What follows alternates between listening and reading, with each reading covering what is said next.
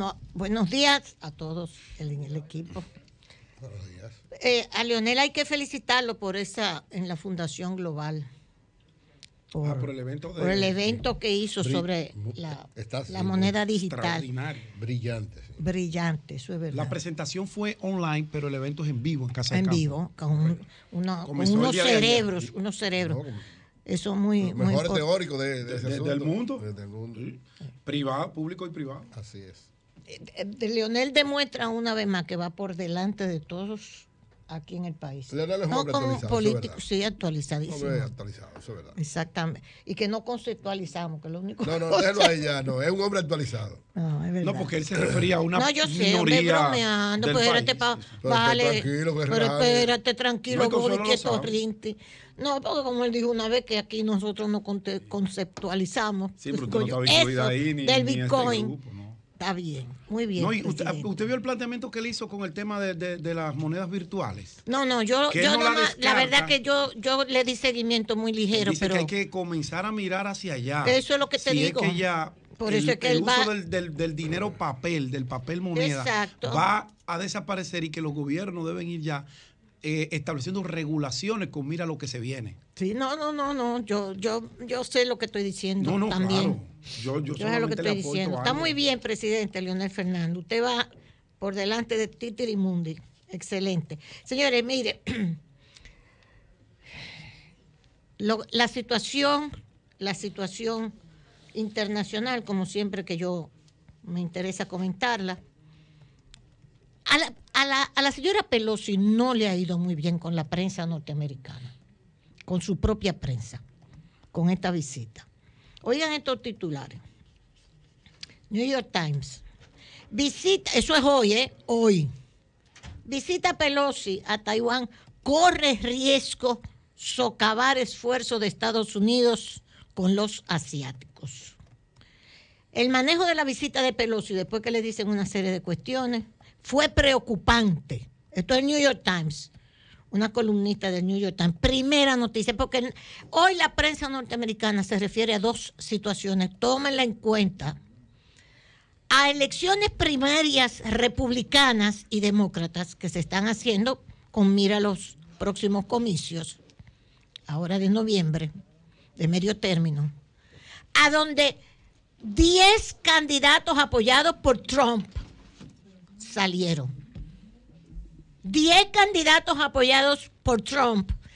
10 candidatos que habían criticado, dentro del Partido Republicano estoy hablando, que habían criticado a Trump y que habían dicho que Trump había que sacarlo incluso, que no podía volver a ser candidato, que condenaron a Trump por lo del 6 de enero.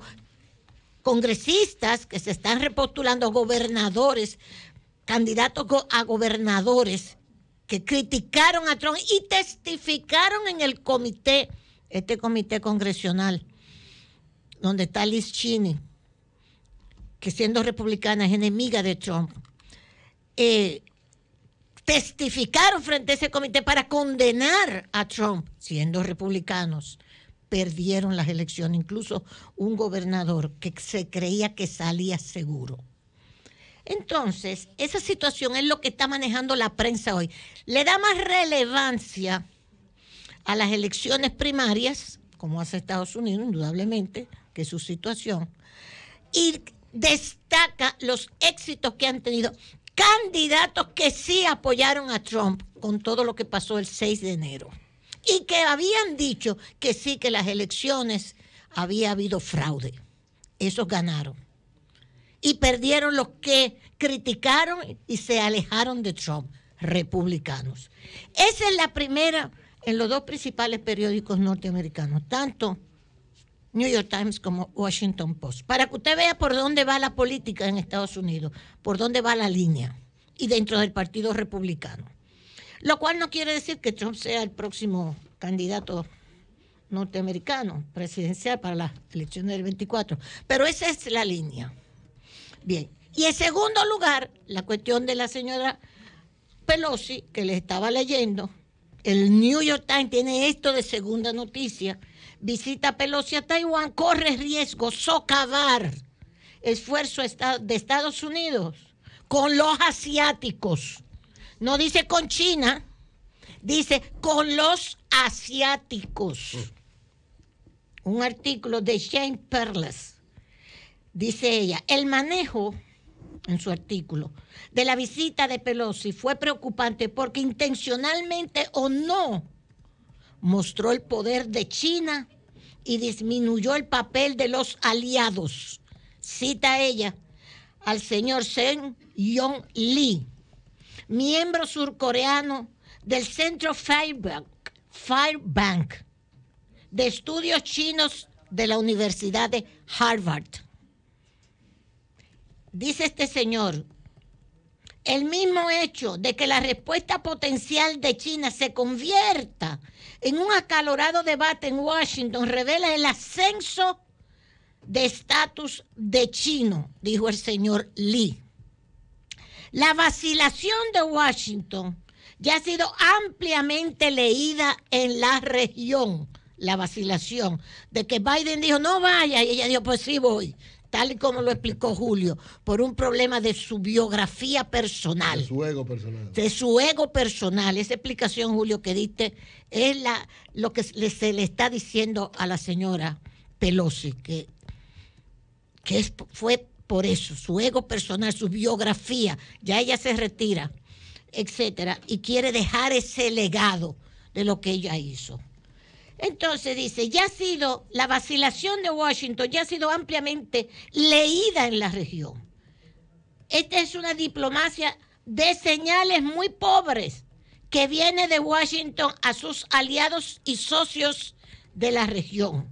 A pesar de sus problemas económicos a corto plazo, Beijing ha invertido mucho financiera y diplomáticamente en planes a largo plazo para dominar la región, dice el señor Lee en este artículo. China sigue diciéndole a sus vecinos asiáticos que es su socio natural por ubicación geográfica y similitud cultural. Está tratando de persuadir, persuadirlos de que Estados Unidos es una potencia distante y en declive, con un sistema político quebrado destinado a perder su influencia en Asia dice el señor Lee. Esto es una de las, de las, de las respuestas que le dan a la señora, a la señora, a la señora Pelosi desde el New York Times. Este es peor todavía. El Washington Post, su consejo editorial de hoy, el consejo editorial, la línea del periódico, su editorial opinión. Aquí está, lo pueden buscar ¿eh? hoy en el Washington Post. El daño de la imprudente visita de Pelosi a Taiwán debe ser contenido. Ese es el editorial del Washington Post de hoy. La política exterior exitosa combina altos principios con una ejecución inteligente y oportuna la visita del martes para mostrar su solidaridad con Taiwán por parte de la presidenta de la Cámara de Representantes, Nancy Pelosi, demostró lo primero, la solidaridad con Taiwán, pero no lo segundo, la ejecución inteligente y oportuna de una política exterior. La reacción previsible de China que considera Taiwán provincia descarriada está en marcha, incluido el anuncio de provocativos ejercicios navales con fuego vivo en las aguas territoriales de la isla después de que finalice la visita de la señora Pelosi. El presidente Biden debe limitar el daño a corto plazo y contrarrestar un probable aumento de la presión china a lo largo sobre Taiwán. Dice que comparte el fuente apoyo de la señora Pelosi a Taiwán democrático, su condena de la dictadura. Eso, como lo expresó en un artículo de opinión para el Post, de que es esencial que Estados Unidos muestre a sus aliados y deje claro que nunca cederemos ante los autócratas. Y entonces le dice el mismo editorial, lo que no comprendemos su insistencia en demostrar su apoyo de esta manera en un momento bastante inestable. por mucho que la señora Pelosi de 82 años quiera un evento culminante, culminante para su tiempo como, como congresista, oradora, congresista, antes de que una probable victoria del Partido Republicano en noviembre lo termine, óyeme lo que le mete ahí, de que pueden perder los demócratas. Ir a Taiwán ahora, mientras el presidente Xi Jinping de China está orquestando su tercer mandato, fue imprudente. Ese es un editorial del board editorial y le sigue diciendo más cosas a la señora Pelosi. Otra opinión electoral eh, también, aquí tengo una que la acabo de conseguir, de la BBC. Esta es la BBC. Le dice la BBC hoy, la BBC de Londres, ¿verdad? De Gran Bretaña. Este, la BBC es la emisora pública ¿eh? de, la, de Gran Bretaña, pero con, con una libertad total para expresarse. No es de un gobierno, es de un Estado. La BBC no pertenece a un gobierno. Por ejemplo, la, la radio televisión dominicana aquí es del gobierno que esté. Exacto. Mientras que en la BBC de Londres es del Estado, del pueblo eh, británico, que es muy diferente. Oigan lo que le dice la BBC. Mientras Pelosi está en un festival, le se lo pone entre comillas, de amor con Taiwán, su visita celebrada en Taipei ha traído consecuencias que podrían provocar una gran crisis entre Estados Unidos, China y Asia, le dice la BBC. O sea que la señora Pelosi, creo que el análisis que hizo Julio es suficiente, porque no ha sido muy celebrado más que como un, un festival de amor de una persona que critica la autocracia. Y le decía a Eury, bueno, pero ella tiene 35 años como congresista, ella no es autócrata. Ella subió, lo estaba calculando ahora, ella subió en el 1900, lo pueden buscar en su biografía, en el 1987 como congresista de California, tiene 35 años como congresista. Eso se estila mucho en Estados Unidos. Los Kennedy, etcétera, hay muchos que tienen añales, añales. Pero eso no es autocracia. Eso es democracia porque ellos son electos. ¿Ok? El sistema se lo permite. Pero ella no es autócrata. Y cogió para Taiwán para enriquecer su biografía personal. Eso no es autocracia. Pasara lo que pasara. Bien, se está esperando, China ya está haciendo cuestiones de, de, suprimirle exportaciones y de suprimirle importaciones que hacen los chinos de Taiwán. Esa relación, yo que fui a China, eso es interesante de ir, yo se lo he recomendado siempre a todos mis compañeros. Nosotros fuimos a China gracias a Rosa NG, que estuvo de encargada en el PLD de las relaciones comerciales con China y República Dominicana. Doña Rosa NG, dominicana, por supuesto. Y se hizo este viaje a China, que pudimos ir, un grupete de dominicanos. Interesantísimo. Y, me decía don Carlos Morales Troncoso cuando yo iba para allá, me dijo, Consuelo, ven acá. Estaba en el Ministerio de Relaciones Exteriores. Consuelo, lo que tú vas a ver en China no tiene nada que ver con el comunismo, eso es capitalismo puro. ¿Oíste? Para que no te desmayes. Efectivamente, yo encontré un retrato de Mao Zedong además del que está en la plaza de Tiananmen, ahí, un retrato de Mao, en una cigarrillera, en el único sitio donde yo vi el librito rojo de Mao, de este tamañito, que lo traje, y una cigarrillera con un héroe chino. Ahí yo no encontré en una cuestión turística. Ellos no tienen nada que ver ya con esa mentalidad del comunismo, de todo lo claro, es un sistema, es un sistema dictatorial. Porque el Partido Comunista Chino es un partido y los partidos comunistas, nosotros que militamos, en, tienen el centralismo democrático, la falta de democracia. Es verdad. Indudablemente, eso fue una de las condiciones para que se cayera todo aquello. Pero en lo económico, por eso es que China ha podido llegar a los niveles, como decía un español esta mañana, que lo estaba oyendo en radio televisión española. La guerra China-Estados Unidos no es de misiles y militar, por lo menos hasta ahora, es económica. Uno primera potencia, el otro segunda potencia, es tecnológica. Por ahí es que va todo este asunto. Y de relaciones.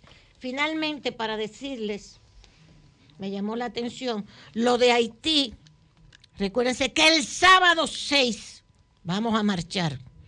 El Instituto Duartiano nos invita a marchar para que la comunidad internacional haga, se ocupe de buscar alguna solución en Haití, de mandarle a la comunidad internacional, que es la política del gobierno también, y que apoyamos totalmente. Vamos a marchar desde las 10 de la mañana desde el Parque Colón. Numerosas personalidades se están sumando a este esfuerzo del Instituto Duartiano. Y entonces, uno leyendo todo eso, me encuentro con gente titular que yo creo que Eury es que lo va a tratar. Esquema de empresa autora de libros digitales. Ayer que el Miner hizo toda aquella exhibición de los libros digitales. Entonces, última hora le daña la fiesta al Miner. Última hora. Última hora. Eh, perdón. Ya, ya, última hora no existe, doña Consuelo. ¿Qué fue? Y ese lapso. Bueno, es lo mismo. Bueno, es lo mismo, lo Es mismo. lo Es por la propiedad, es por la propiedad que Es Es por la propiedad. Ah, Es que-. Borré, borré. La misma propiedad. nosotros, No, ella sabe lo Doña que está Consuelo, Ella sabe lo Ay, que qué dice. que metía de pata. Se- No, no, no. No es metida de pata, no. Que se me salió el cobre. Se me salió el cobre. Wow, pero qué Borre. Usted dijo, Sí, usted dijo que, que- hora. que- que en radio que directo. Usted aconsejó a mí, a patrón, una Sí, vez. pero fue- Que no podemos hacer simulaciones ah, y, sí, y sí. parábolas.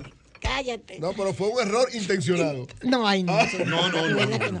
Diario Libre Exacto. le, exacto, le, le daña la fiesta al Miner. Esquema de empresa autora de libros digitales del Miner que se anunció ayer. 1800 creo que son de libros digitales. Entonces viene uno de los que dice, uno de los de sus dos socios, porque genera cuestionamiento, ¿eh? el esquema de empresa, autora de libros digitales del MINER, genera cuestionamiento. Esquema de empresa. Uno de sus dos socios que se ganó un concurso, una parte del concurso, es un chofer que le dijo a Diario Libre, Diario Libre, usted es el señor fulano de tal. Sí. ¿Usted es miembro de tal empresa? No. Yo lo que soy es chofer. No sé de qué me hablan.